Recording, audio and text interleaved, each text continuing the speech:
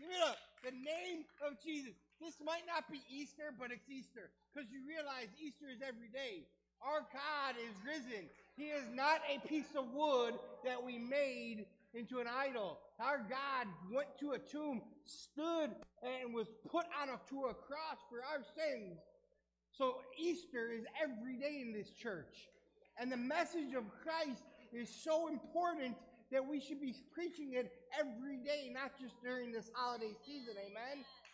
There's people's lives on stake because he went to the to the to the cross for us and he had scars for us and he and we have a walking miracle in this room today. Caden, would you come here for a minute? Hey, I just I, I just want this this young man that I'm bringing up. I didn't tell him I was doing this. This young man last week had a bullet in his leg. A year ago in June, got shot by a stray bullet and it hit him in the leg. Last Sunday, he is sitting at church, and all month he kept going, Pastor, the pain is getting worse. I'm getting angry. I can't handle it anymore. And I kept praying for you. And last Sunday, he's next door on the other side of the wall and with Impact Kids in their, in their service, and he let out a scream, from what I was told, because the pain was just so bad. And we, we went and got Mama, and Mama came over and brought him over here and didn't say a word to anybody. And he sat down. He didn't want to leave, right? You wanted to sit during service in pain it didn't matter how bad it was because he knew Christ was going to handle it. After church, he gets in my car to drive him home, and he still hasn't said a word. But Mama goes, I got to take him to the hospital. I said, okay. And we took you to the hospital, right? And the church, I asked you guys to pray. I asked the church to pray. And Mama, my Mama, said, I'm not praying for healing. I'm praying that the, the bullet moves because if it moves, they can take it out. And if they can take it out, he will be healed. And what happened this week? They took it out. They took it out. Amen. Amen. Caden, show me what you can do now. brother. So proud of you. So happy for you. Thank you. And not just today. Today is Palm Sunday, and Jesus comes riding in. But today is also Baptism Sunday with us and he is one of the, uh, I was going to say inductees into baptism, but he is one of the bapti- baptizees, bap-. He's getting baptized today. Thank you, brother. Thank you. You have a seat. So, with all that said, you guys can have a seat. I'm just excited because we are in the holiday season. We are in the resurrection season because we do serve a God that is king and, and is risen. So if you're a first time guest here today, we have a little couple little ones here that are first time guests. Make sure that they get their little gift, uh, the first timers. Um, fill out the U card though on your seat if you're a first time guest. Like us on Facebook, YouTube, Instagram. Uh, all our sermons are up to date on YouTube. So if you missed the service, you can watch them on YouTube. You can watch them on Facebook.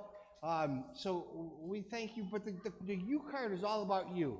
And the reason we have you fill that out is so we can get to know who you are. So we get a little information about you, and I want to give you a little information about me. So every first Sunday of every first Sunday of the month, we do something called Party with the Pastor. If you have not signed up for Party with the Pastor, uh, you, are more than welcome to sign up. Put on uh, on your U card, circle it, say I want to be part of the Party with the Pastor, and I will talk to you later in the week. Amen. You can also put prayer requests on that. You can put um, anything that you need on that U card, it's about you and what you need so we can help you and serve you better. Amen? With that said, we have a video, and during the video, the children can get up and go to Impact Church. Amen? Can you show that video, please?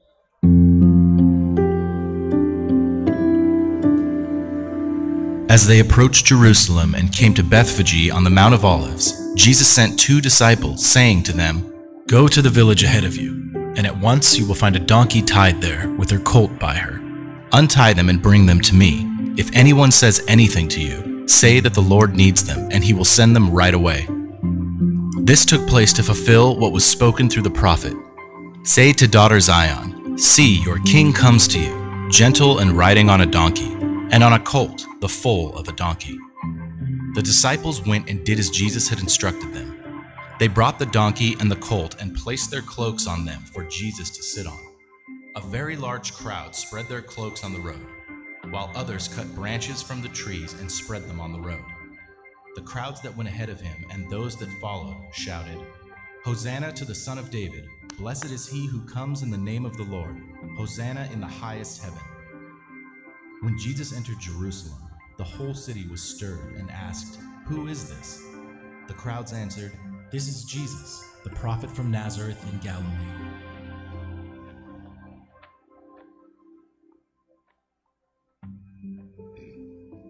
Y'all today received something walking in. Can you raise those up? Can you can you wave them? Wave them like you just don't care, right? Come on, show me how you can wave them. Wave them. Because what you are doing is, is exactly what the, the, the Israelites and the people 2,000 years ago were doing. The- the- uh, uh, our Savior, by the name of Jesus Christ, right? By of Jesus, came riding in on a donkey. Think of this. When you picture a king, what do you picture? Do you picture him riding in on a little donkey? And we call him an uh, ass, right? Excuse me, but that's what we call donkeys, don't we? Do you picture him riding on that? I picture a king on a stud, right? On a big old monster horse riding in with a crown on and clothes to, to match that in majesty, right? Our king didn't do that. Our king came and preached that he was a servant. He was not to be served, he was to serve. Amen? And that's exactly what he was doing that day. And they were they were they were bystanders, thousands, hundreds of thousands of people, if not millions of people in the town of Jerusalem. Why? Because they came to do something. They came to be part of the Passover feast to remember that God, years before that, sent his angel to cover them and to kill them and get them out of slavery that day. The Passover, right? And this is what it's such a symbol for us that the Passover was alive and he was coming and he was giving and he came to serve and not to be served. And that day they were waving their palm branches. They were singing, Hosanna, the kids, it was awesome watching them out there today. The little itty bitties were out there today yelling, Hosanna, Hosanna. I don't have a clue if they even know what it means, but it was adorable. And people are beeping at them, right? They're getting greet, they're greeting people out there. Why? Because they love the Lord. And this is the same thing. These people, they they loved the Lord. They didn't know what they were loving at the time, but they loved the Lord. And the people, the Pharisees and the leaders and the, and the prominent people didn't. See, it's a beautiful story of our King coming and being a part of the Passover week, right? We call it Holy Week, right? And for Holy Week, we are going to be starting next, uh, starting tomorrow, Monday through Thursday. We will be in this building or in this facility from seven o'clock to eight o'clock with prayer and reflection to remember what happened that week, to be in prayer and to remember what happened in that week. They didn't know what was about to happen, but in five days, something changed the earth and our view of life forever. And yes, it starts with the beautiful story of him riding in on a donkey. But on that Friday, something happened. And he was put on a cross. Why? Because people were jealous. People were haters. People didn't really see the value in who he said he was. But today is a day of glory. Today is a great a day of clapping and singing and praising, which we've done. But now I want to do part two of what we did last week. Anchoring into the cross. Did they do a beautiful job up here or what? Does it look awesome? So thank you so much. I'm not kidding. I walked in because on Sunday mornings they kick me out. They don't let me stay in here because my hands want to be on everything. So I go and I go drive and I go pick up people and I, I make sure that they get to church on, on time, right? I walked in there and I was like, dang, it looks beautiful up here. Last week it looked good, but dang, this week it looked, I don't know, there's something different. But anyways, but if you notice, there's anchors up here. And last week we talked about that our lives are not futile, that, that we have purpose. We can anchor into the cross because God gives us purpose. God gives us a hope. God gives us a life. Amen? Without Him, we can't really do anything. We can do stuff, but it's not the same. Am I right? With Christ in it, it gives us hope. It gives us that purpose. So we're going to continue this anchoring into into uh, anchoring into another point. Our second point today. These six hours, like I said, that, that six hours on a Friday changed the course of history forever. And it's a second anchor point today, and it's the title of the message is My Failures Are Not Fatal. My failures are not fatal. Next, uh, next week is Easter, and we'll finish up with the third anchor point. My death is not final. But today's anchor point is my failures are not fatal.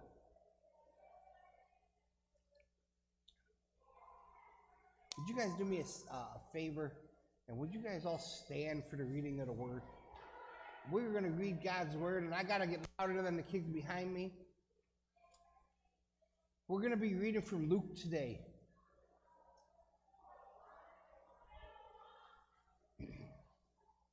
Luke 23, if you have your Bibles, please stand. I will not start until we all can stand. Jessica's the only one that is allowed not to stand. Thank you. And Miss Roberta, because sometimes I, I understand if you can't. If you're capable, please stand. And this is not a Palm Sunday message. Like, I'm not reading from Palm Sunday. We, we just read, we just saw that video about this is the cross we're going to be reading about. I said they just glorified God, right? He came riding in on the song and they were singing and praising and dancing. But what we're reading from is the cross. Because of what the cross has done for us. And it starts with the mob. The mob, that, the same mob that was just dancing and, and praising and singing for him. It says, but the mob shouted louder and louder. They weren't singing Hosanna, Hosanna, Hosanna anymore demanding that Jesus be crucified, and their voices prevailed. So Pilate sentenced Jesus to death, to die as they demanded. Verse 32 says, Two others, the man on the left and a man on the right, both criminals, were led out to be executed with him. And when they came to the place called the skull, they nailed him to the cross, and the criminals were also crucified with him. One was on his right, one was on his left, it says. If you bounce down to 39, it says, one of the crim- criminals hanging beside him scoffed at him. Just days ago, everybody's clapping, cheering, praising him. This is a guy on the cross next to him, scoffing at him. I can understand everybody else scoffing at him. Why? Because that they were just doing that. But this is the guy about to die, and he's scoffing at him. So you're the Messiah, are you? Prove it by saving yourself and us too while you're at it. But the other criminal in verse 40 says, ah, the other criminal, he protested. Don't you fear God even when you have been sentenced to death? We deserve to die for our crimes, but this man hasn't done anything wrong. Then he said to him, Jesus, remember me when you come into my kingdom, when you go into your kingdom. And I love this. Jesus replies, I assure you. Did you catch that word? Assure. Assure. Assure. I assure you, today you will be in paradise. I want to stay on that word for one second. I, somebody needs to hear this. Your salvation is uh, uh, assured. Your salvation is assured. It is given to you freely by the cross. It is given to this man. Is given to us also. Your future is assured in the cross. We don't need to look any further than that cross. And that empty tomb, it is assured, and we have a place. I'm getting ahead of myself. But we are assured. Somebody in this room, I know it, and somebody watching needs to hear that. It is not done because of our works, it is because of done of his works. Amen? Amen to that. You guys, Father God, as we go into your word, as we break this down, as we look to the cross, to your Son, to the Savior, to that empty tomb, Father God. Work on our ears, our, our eyes, our hearts, our souls. Lord, let this your word be the light to our path and, the, and a light in, into our path and our feet, Father God, to get us from point A to point B and into eternity. Lord, let us be like one of the criminals, that their heart is unhardened to hear the truth and to see who you really are, our Lord and Savior. Amen. Amen. Everybody, you can have a seat. Stop talking out there.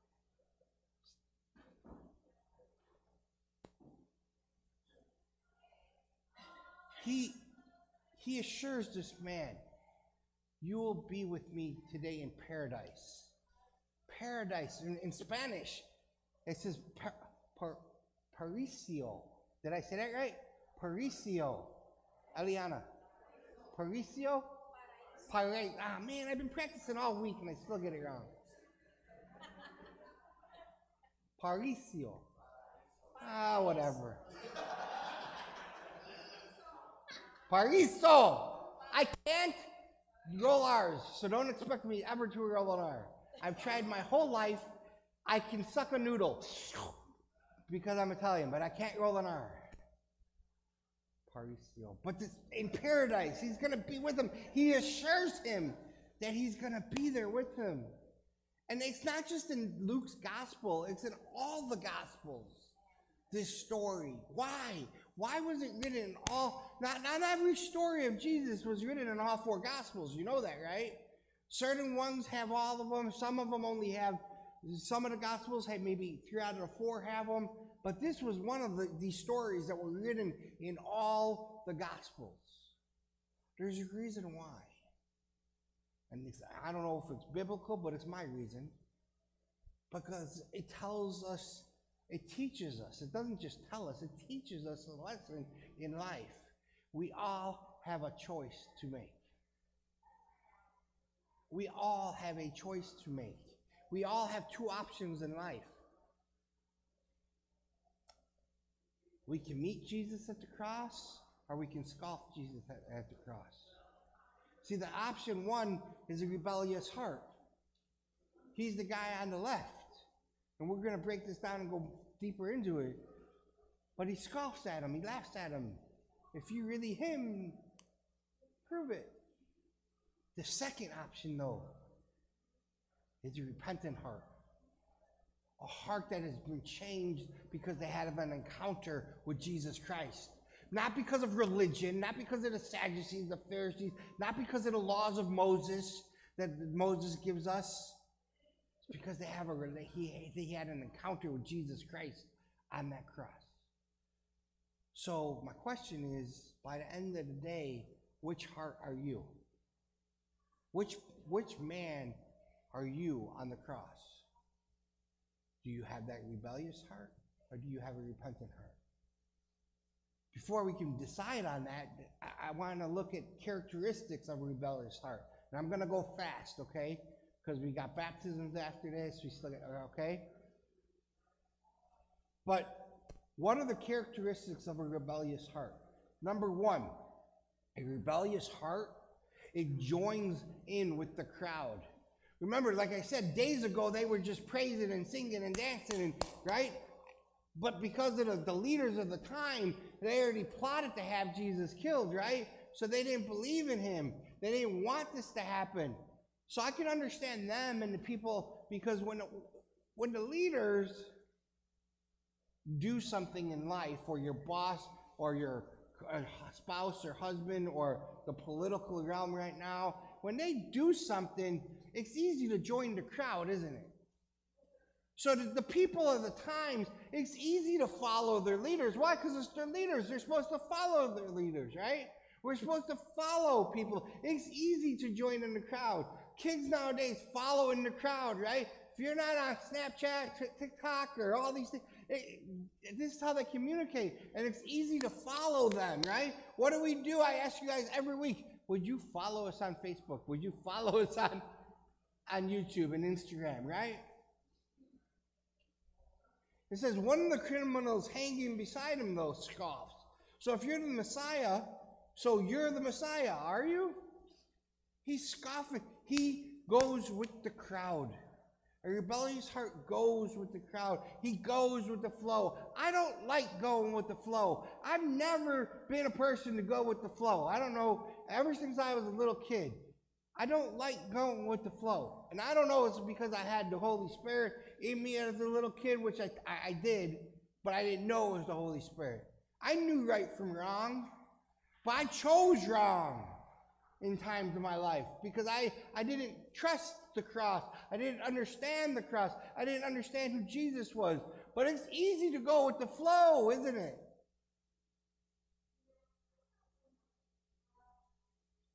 I want to be like a salmon. Do you guys know what a salmon does? Once a year, what they do? They fly, swim upstream. All the other fish are laughing and, la- and, and, and what are you doing, you goofy fish? You're going the wrong way. It's hard to go upstream. But there's a reason they do it. They go spawn, they go mate, they go lay their eggs, and then we have more salmon. They know what they're doing. I want to be a salmon. I want to go against the grain. I want to go upstream. And I don't want to do it for myself. I want to do it for Christ because he went upstream. You're meant to be different. When we are in Christ Jesus, when we are in Christ, we are set apart, it says in the Bible. We are a holy people, it says in the Bible. We are not supposed to go with the flow. I am supposed to go against the flow. See, again, you have a choice. You can go with the flow, your heart can be hardened, or you could go with God. I, I wrote in my notes, we can either have a popular voice, right? I, I, all my, I got a bunch of pastor friends that want to be influencers. They can go, some, some are good influencers and some are. There's a lot of influencers on this, on this little device, right? The popular voice. I, we can either be the popular voice and go with the crowd, or we can be a prophetic, prophetic voice that goes with God. I would rather be that prophetic voice that goes with God because I know the end, and so do you. This is why every Sunday should be Easter at Impact, and every church. It's easy to go with the flow. It's hard to be that prophetic word. You realize all, all the prophetic the prophecies in the, in the Bible and all the, the prophets in the Bible, what happened to them? They were all killed. Why? Because they went against the flow. I'm not saying your whole life to go against the flow. There's some things that we're supposed to go with, right? But when it comes to Christ and His ways and God's ways, we're supposed to go with the flow. His flow. We can either be the popular voice and go with the crowd, or we can have a prophetic, prophetic voice that goes with God and does the will of God even when it's unpopular. Proverbs 14 12, the, the, the teens are reading Proverbs one a day for the next 31 days. And I think I actually think today is Proverbs 14 when they started. It says in verse 12, there's a path before each person that seems right, but it ends in death. How many of you have walked your own path? You have walked your own path going, man, my men in the, in the room are being honest. I like that. We've all walked our own path, and our paths lead to death. Why are we having the kids read Proverbs? Who wants your child wise? Who not a who wants your child wise in God's ways? If you read the book of Proverbs, it, starts off with that. These are words of Solomon who is wise, and they're meant for correction. They're meant to help us. They're help to walk on the path of Jesus Christ. Jesus himself said, You can enter in Matthew 7, you can enter God's kingdom only through the narrow gates. The highway to hell is broad. You guys ever heard an ACDC song? Highway to hell? He says, oh, I'm going to see my friends in hell. We're going to party. That's not what hell is. hell is the separation of God from man. He's literally in hell. That I can't be with my maker. Imagine you can't be with your mom or dad or a loved one that you love so much because they're gone and there's no way getting back to them. We've lost loved ones.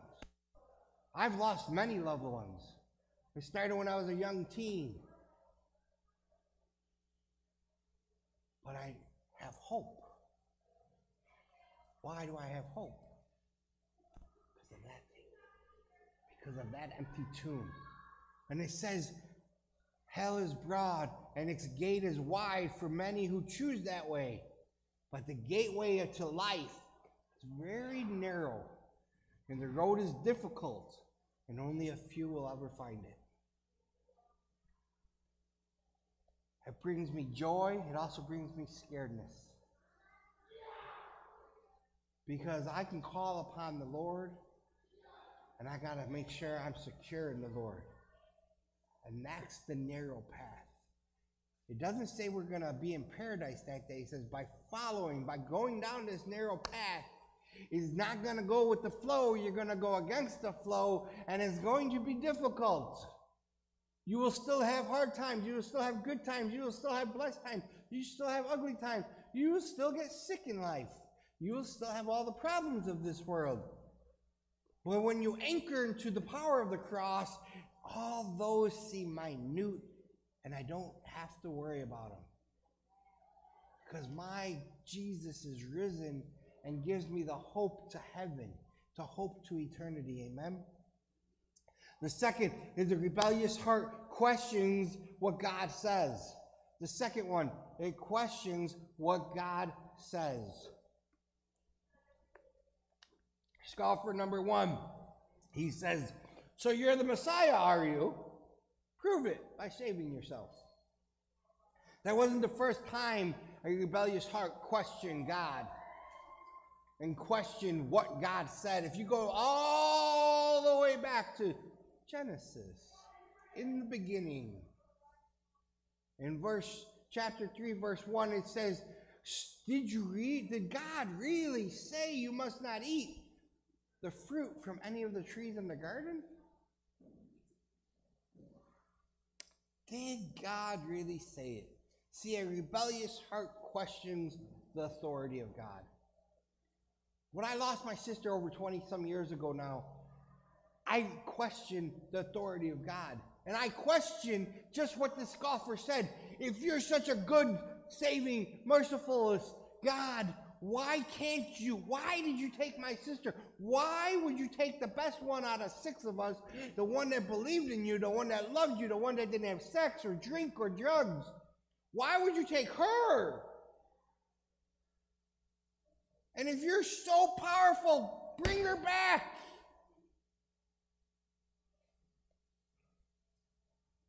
And my heart got so hard that day. It was already getting hard. Did you ever have a heart? Like, I don't want to know if you had a heart attack, but you know, if you're having a heart attack, your arteries get clogged, and when we were born, they're clean. You can see through them. Why? Because the blood flows through them, right? But years of eating crap and, and not working out and smoking and all these things, they start to get black. Your arteries start to get hard. And this scoffer, this criminal, uh, we don't know why he was on the cross, but he had to do something to be on the cross. His heart was hard. His arteries were clogged. He couldn't see the blood running through. He couldn't see what was in front of him. He questions God. Many of us have been there. We see this in the world right now. So many people are questioning, what's my purpose? What's my life? I, am I supposed to be a boy? Am I supposed to be a girl? Am I supposed to? God gives us all the answers in the Bible. He does. I, you can look through it. all your answers are in there. My answers came in through, from a Bible, from the Word, and from prayer, and God speaking to me. Why my sister passed.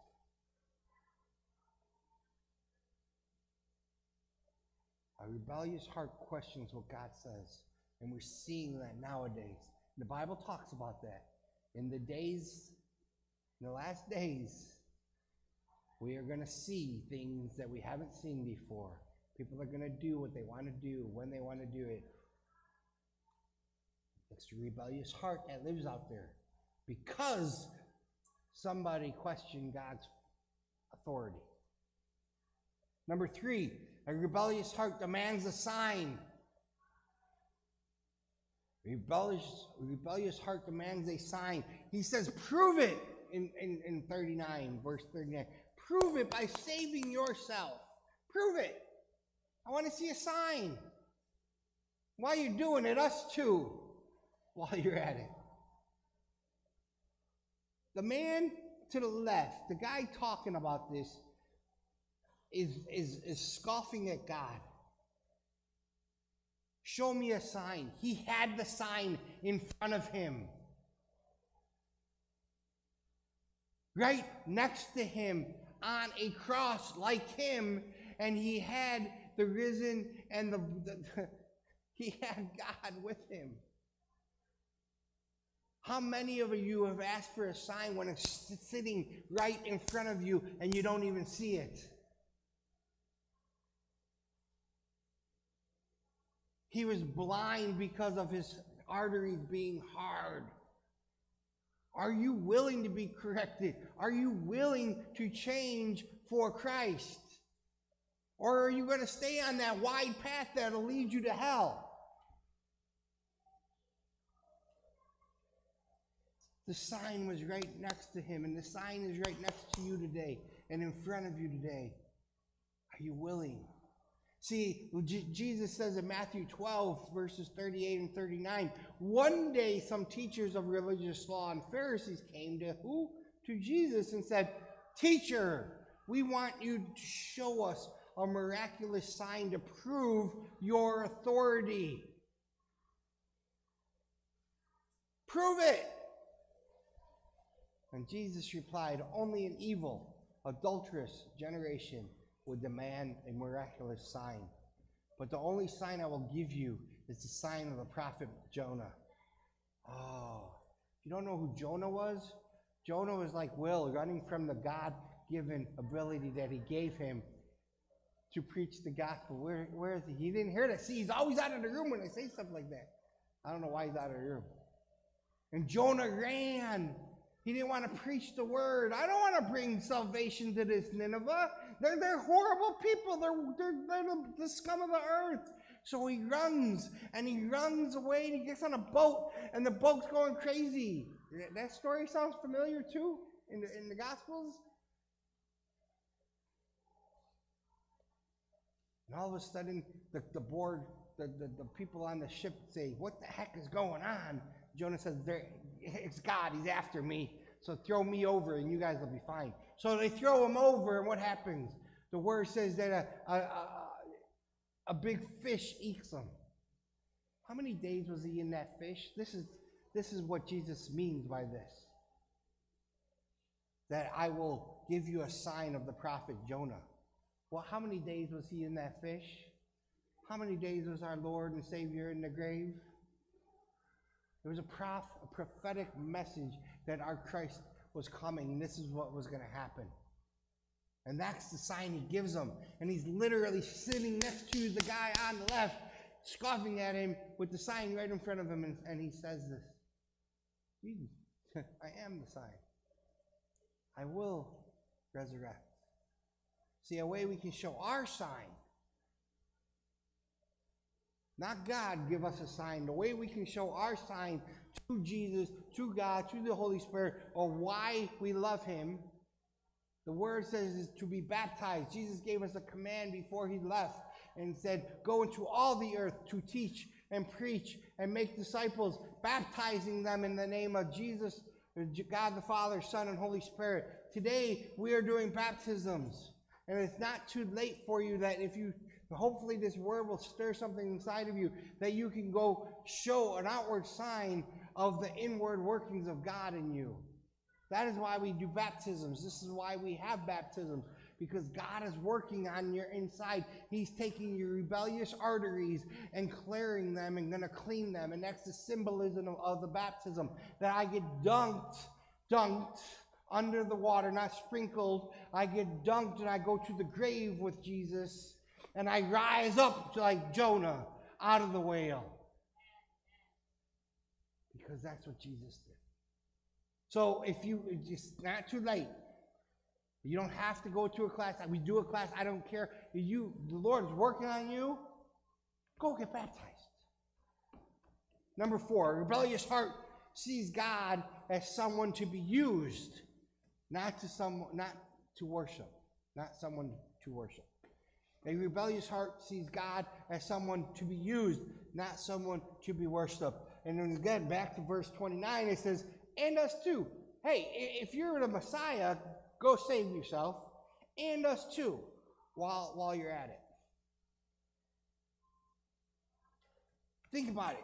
How many people you see on next Sunday, and I'm not, maybe I shouldn't say this, I say it, I, please forgive me, if you don't like it, if you're watching, how many people next Sunday will you see at church? Churches around the world will be packed to the gills. When we need something, we call upon God, don't we? What about the other 300 and how many days are in a year? 365? I don't even know. How many 364 days of the year Okay, 363 days because then we see him back on Christmas. 62, whatever, man. Yeah, and there's some other holidays, Mother Days, Father's Days, we see right. But you see what I'm saying? When we need something, we call upon God, don't we? The other days, though, these seats are empty.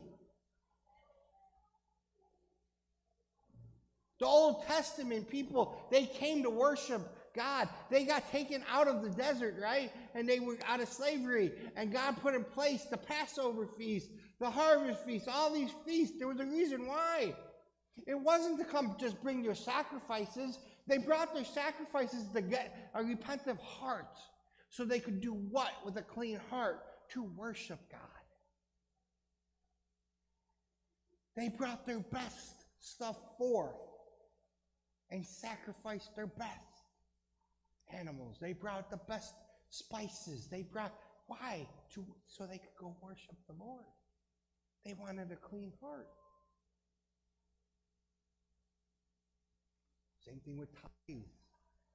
Do you bring the best or do you bring the rest? Serving in the house of the Lord. Do you just come and take or do you actually serve like Jesus said? Do you come and serve when it's convenient for you? I'll do the fifth Sunday of every month. You know that's only four Sundays like that, right? Oh, it's convenient. See, we come, a rebellious heart sees God as someone to be used, not to worship. We come with wrong motives. I'm not saying you can't go to God. It says in the Word to go to God with your problems. It says to go with Him in every situation but it says to worship him in those times. It says to worship him in the good times and the bad times. It doesn't mean to scoff at him during those times. It's to worship him. Amen? We, we come to him with wrong motives. People want for, to be forgiven, but they don't want to repent. There's no fear of God. Number five, a rebellious heart doesn't acknowledge sin, but wants relief from it. They want to be repentant of it, right? They want to be forgiven of it. A rebellious heart doesn't acknowledge sin, but wants relief from it. Think about it. The first criminal, he doesn't even acknowledge that he sinned. He didn't even say anything to God uh, that he did anything wrong. but he wants the benefits of what Jesus has. I remember, I, I've told you guys this many times. The day I was coming down so bad, I thought I was going to die. There was many times, but this day there was something different about it, and I just couldn't get. Something was happening, and I said, "Lord, if you get me through this, I will stop." Sounded good, right? Oh, he's got a repentant heart. I knew deep down inside if I got through it, the next day I was going to do the same dang thing. And guess what I did the next day? I called my, de- my dealer. Let's do it again. I didn't acknowledge my sin, but I wanted relief from it. That type of heart is never going to get God's attention. It got it. It took two and a half years later for me to get it. That prayer went to him, but my rebellious heart never did until two and a half years later. But on the other hand, the second criminal, we see a repentant heart, don't we? I know I did something wrong when Jesus, when, when you go, will you remember me? That will always get God's attention. And in that moment, I was repentant. But I knew I wouldn't worship. See, I want to talk, I don't want to end on characteristics of a, a rebellious heart. I want, here's the hope we have in Christ. This is where we can anchor in the, in the cross right now. I want to talk about the characteristics of a repentant heart because that's where the hope comes from. That's where, where we can anchor into. Amen? So, my, the first one, a repentant heart fears God.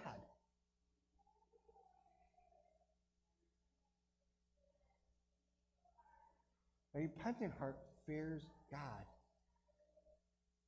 In, in, verse 40, he says, But the other criminal, he protested, Don't you fear God even when you have been sentenced to death?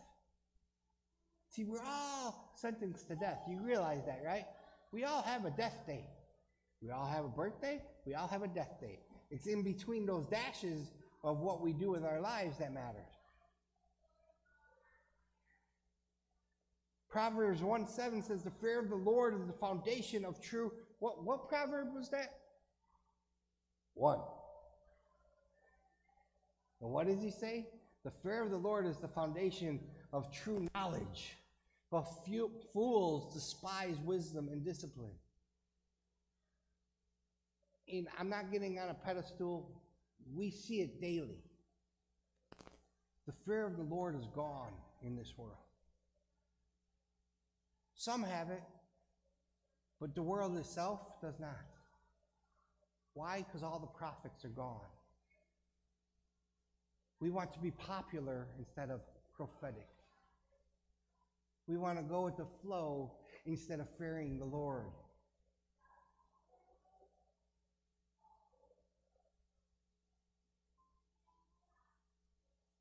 I can do whatever I want. Is that not what we teach? The world teaches oh, you can be whoever you are. You guys heard about the, the girl that was in a school and, and told the school she was a cat, and they made a cat bathroom for her? You're not a cat. You're a man, you're a woman. Deal with it and figure it out. Because I've been confused in life because my mind wasn't right.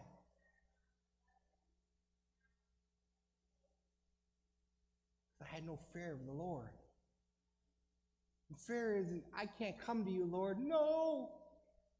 Fear is, you are my maker. And I love you so much that what, what your word says, I'm not going to be perfect at, but please, Lord, forgive me when I'm not. And Lord, thank you when I am. I'm going to change and I'm going to try my hardest to change and to fear you and to give you my love, my respect, my, my love for you. And I need your Holy Spirit to come in me to have that repentant heart because a repentant heart fears God. Scoffer 1 did not fear him. Scoffer 2 said, Oh, don't you fear it? The word says we will have an account for everything we do and say. And I truly believe that. If I am not in Christ, I'm going to have to have an account for everything I've done and said. But because I am in Christ, my sins have been washed away. Amen? The guy on the cross, number two, he didn't go to baptism class. He didn't get baptized. He didn't even say he believed. He said, Lord, remember me. Why? Because he had a repentant heart. He didn't serve in a church. He didn't go to a small group. He didn't go to a Bible study. He had an encounter with Jesus Christ. And, he, and the fear of the Lord showed him that this was Jesus. This was the Messiah. A repentant heart acknowledges his sin. Number two, a repentant heart acknowledges his sin. You can tell the kids I'm almost done. Somebody, if somebody can tell the children I'm about, about five minutes. A repentant heart acknowledges his sin. Verse 41 says, We deserve to die for our crimes. He tells the other scoffers, goofball, hey, we're both up here. We both did something wrong, and we're not up here alone. Uh, we got, we've got the Messiah here, and we have a way out. We deserve to die, and he doesn't. You re- eh, eh, he realizes this that the Christ came perfectly with no sin. Throughout his life, no sin. He didn't do anything wrong. All he said was, I'm the Lord. I am who I am. Because he was who he said he was. He didn't lie about that. He didn't have to acknowledge his sin. But the guy on the cross did. The guy on the right. And he says, we deserve to die for our sins. A repentant heart, he fears the Lord. A repentant heart acknowledges his sin. Number three, a repentant heart acknowledges Jesus, Jesus' innocence. Verse 41 continues to say, But this man has done nothing wrong. Born of a virgin, why? Because the Holy Spirit impregnated her. Was not born of a natural birth. Oh. In the temple, he destroyed stuff. And he got mad. He got righteous mad. That was his father's house. Did you ever have a party in your mom and dad's house and somebody destroyed something? I had lots of parties in my house. I'd get mad was a righteous man. I can destroy something in my house, in my mom and dad's house, but if you come into my house and you destroy something, guess what? I got a righteous man, right? This is what Jesus did. Not out of anger, not out of hate, out of love. A house is supposed to be a house of prayer and worship. A repentant heart acknowledges Jesus' innocence. He did nothing wrong. And that is what this man saw and understood. Number four, a repentant heart acknowledges Jesus' power to save. A repentant heart acknowledges Jesus' power to save. Verse 42 says, Then he said, Jesus, remember me when you come into your kingdom. He acknowledged him. If you watch wrestling, in a couple weeks, what Christopher watches. What does what does Roman Reigns says? Acknowledge me. Right? This sinner acknowledges Jesus as who he is because he knew he had the power to save. Roman Reigns does not have the power to save me. He has the power to entertain me, but he doesn't have the power to save me. I acknowledge one person. I only kneel for one person.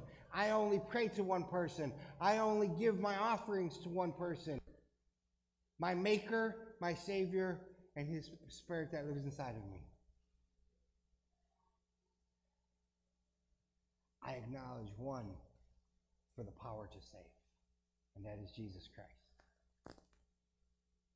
And that's what this sinner, there's no other religion. You know that, right? There's no other religion out there. Not Buddha, not Muhammad, not Hinduism, not Santeria, not any of these other crazy things that I, I hate to say, not Catholicism, not uh, uh, Lutheranism, not uh, not Assemblies of Godisms, not uh, baptism, uh, baptisms. That's, I'm coming up with all kinds of crazy words today. There's only one way to Jesus and to, to God. And it's not because of religion, it's because of the relationship to acknowledge that there's only one way to save.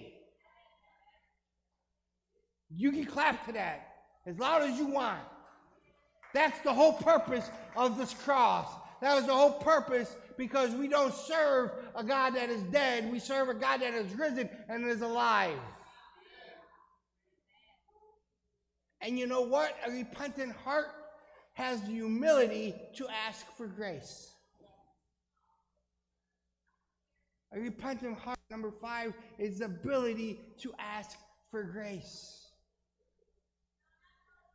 He said, Jesus, remember me when you get into your kingdom. When you come into your kingdom, remember me. I am no better, than Jesus, but I'm going to ask you for grace. Please remember me. And grace isn't something new to, to the Bible. Grace is not something new to the cross. When, when Adam and Eve sinned, what did Jesus do? He didn't say, I'm going to kill you and you're out of my life forever. He said, No, here's some clothes. Here's a little fig leaf. Here's a little bikini for you, Eve. And he clothes them. He gives them grace and says, Because you did that, now you have to suffer some things. He didn't kill him. He didn't curse him. He didn't. He kicked them out. But he said, you're not out for good. You still can come back. It's just going to be different. See, our, our repentant heart, they ha- we have the humility to ask for grace. Isn't that beautiful? I don't have to do anything to earn my salvation. He did it. He did it. I don't have to. Where's my amen guy? My little amen man. Amen. It means all the good works that I do throughout the week and the months, that doesn't account for my salvation? No. We were made to do good works. Why? Because our good works, we get to glorify our Lord Jesus Christ. When I do bad works, who does that glorify? The Satan, the little snake in the grass. See, our good works are meant to glorify God and to show His love and His grace and His mercy. And there is a reward for it. And this is what I want, I'm going to end it the reward for us asking for the grace and accepting and coming down off our thrones and coming down and asking for humility, we have a reward, it says. Jesus replied, I assure you, today, today, I assure you, Bobby Jean, today, Myrna, I assure you today, Sharon, I assure you today, Rico, I assure you today, you will be with me in paradise. Not because of us, but because of Him. Not because of anything we've ever done in our lives. The word says uh, each and every one of us is evil. And I have a choice to either be a rebellious heart my whole life or a repentant heart and to follow and to love. How do I do that? I have a relationship. I accept the cross. I accept the empty tomb into my life. I accept Jesus into my heart, my mind, my soul, my spirit. Not that I am perfect. And will I ever be on this side of heaven? But in my Maker's eyes, I am perfect, it says. Will you have shame? Will you have guilt? You know why? Yeah, because you know you did something wrong. But that's the beauty of this. We don't have to feel that way. We don't have to let anxiety overtake us. We don't have to let depression overtake us. We don't have to let our situations rule the way we live. Why? Because our God, our Savior, our Messiah, He lives. Amen? But it starts with that relationship. So bow your heads, close your eyes. Because it does. There's a reward waiting for you in heaven. And we're going to talk about next week, like I said, our, our, uh, our death is not fate or uh, final. Our death is not final next week because there's more to this story. But it starts with the cross. It starts with the, the option rebellious heart, repentant heart. You don't deserve the gift of salvation, but we given is given to us anyways. If you've never accepted that, if you're watching today, if you never accepted that gift in the empty tomb, which we will talk more about next week, today is your salvation day. Today is your day to be in paradise with Him. If that's you today, and you need to ask Jesus to all these things, I, repentant heart fears God. Repentant heart acknowledges sins. He acknowledges Jesus' innocence. He acknowledges the power of, of Jesus. And if you're willing to ask and submit and become humble and ask for the grace that comes in the cross today and accept Jesus Christ as your Savior, I want you to raise your hand. I want you to look at me. I want you to t- acknowledge Him in some way. Amen. Amen. See these seats that are empty today? Those seats should not be empty next week. That's our job to bring people into his house next week. We usually bring the gospel to them, right? On the street. But next Sunday is the biggest Sunday of the year for most churches. Because people need to hear about the empty tomb. Mm, people need to hear about the empty tomb and the hope we have because our death is not final.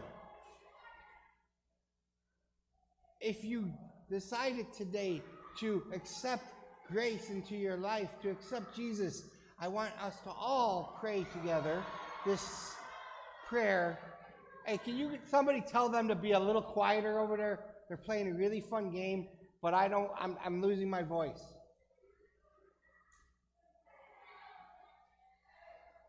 We're going to all stand up and we're all going to pray together today. If you're capable of standing, stand up. That's my guys over here, too. Nobody's excluded out. And everybody just pray with me.